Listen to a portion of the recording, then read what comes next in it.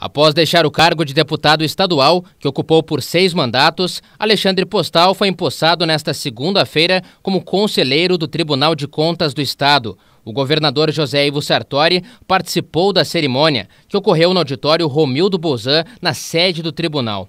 O conselheiro elencou duas missões principais que terá à frente da corte. Eu acho que é a fiscalização e orientação.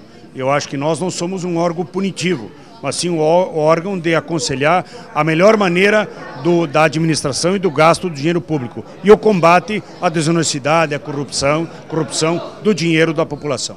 Postal foi nomeado por Sartori para a vaga de livre indicação do governador no lugar de Adrualdo Loureiro, falecido em fevereiro deste ano. A sua nomeação foi publicada no Diário Oficial do Estado em junho.